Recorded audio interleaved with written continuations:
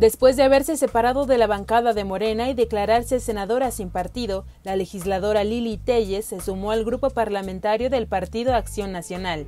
El coordinador de los senadores panistas, Mauricio Curi, le dio la bienvenida a Telles, quien renunció el pasado 14 de abril a la fracción de Movimiento Regeneración Nacional por diferencias de criterio.